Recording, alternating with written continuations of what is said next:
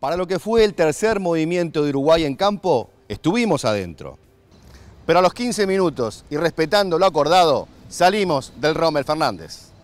Y en ese moderno escenario construido en el 70, que tiene como vecinos al Complejo Deportivo Roberto Mano de Piedra Durán y a la propia Federación Panameña de Fútbol, se pudo ver de todo menos eso, fútbol.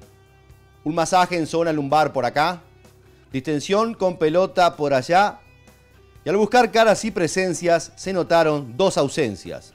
Jonathan Rodríguez, quien de particular iba a llegar al Rommel durante el ejercicio, y el cebolla Cristian Rodríguez, el hombre de Independiente no estaba en el estadio de 30.000 localidades. En ese mismo momento se le realizaban estudios en el centro de Panamá acompañado por Alfredo Montes. De averiguaciones surge que no existen aún indicios apropios ni extraños de la probable conformación de Oncena para enfrentar a los dirigidos por Bolillo Gómez.